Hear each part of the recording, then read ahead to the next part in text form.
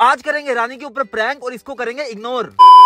Mummy mummy, खाना दे दो। यार, कोई जवाब ही नहीं दे रहा। इसको क्या हो गया? मुझे क्या? पापा के पास जाती हूँ। पापा पापा, क्या कर रहे हो? सुनो सुनो, मैं रानी। देखो देखो, इधर रानी हूँ मैं। यार अटेंशन नहीं मिल रही। क्या करूँ? एक काम करती हूँ, घर से भाग जाऊँ कारपेट पे वोमिटिंग कर दूँ, दस मिनट के लिए छुप जाऊँ या पूरा दिन कुछ ना खाऊं। तुम लोग कमेंट में बताओ मुझे क्या करना चाहिए।